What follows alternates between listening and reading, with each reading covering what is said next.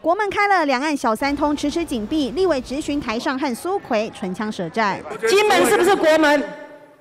我们很清楚，金门同样是我们国土。对，金门这个门是不是国境的一个门？但小三通跟国际开放，所以小三通又不一样。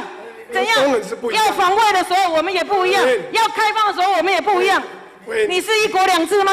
这样拼命吵，小朋友听不清楚。特地 Q 异常二楼观摩席来参访的金门学生苏贞昌要陈玉珍别教坏小孩，效果都一样，都是老婆，一个是睡衣啊哈。你的意思是这样？我们很难过，没有证明嘛。睡衣，你这个讲法不对。我们对于小三通要考量中国的疫情、中国的防疫措施、中国的疫情、中国防疫措施、两岸之间的关系。好。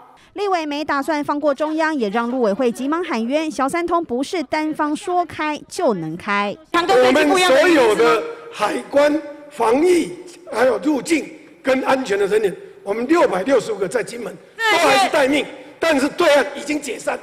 我这个是其中之一嘛？这个你很扭曲，你不批评中国，批评自己不是，我不是说我们的决定都被大陆牵着走。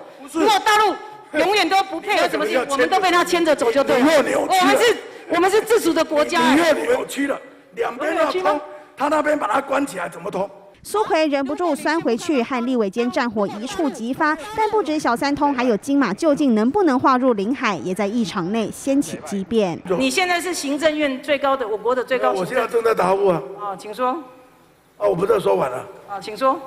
你没有注意听，要问却不给回答空间，一瞬间让苏贞昌怒了。内政部更点出现实，这是一个政治问题，很清楚。所以因为政治问题，所以金门马祖的领海没有办法被划进去。我要告诉你，你就怕我回答嘛？你就怕我回答？我没有怕我，我把答案告。我现在回答，我依法行政，法律规定有禁限水域。就是这样嘛。民生国防扯上两岸纠葛，多的是身不由己。进新闻，李婷、郭燕婷采访报道。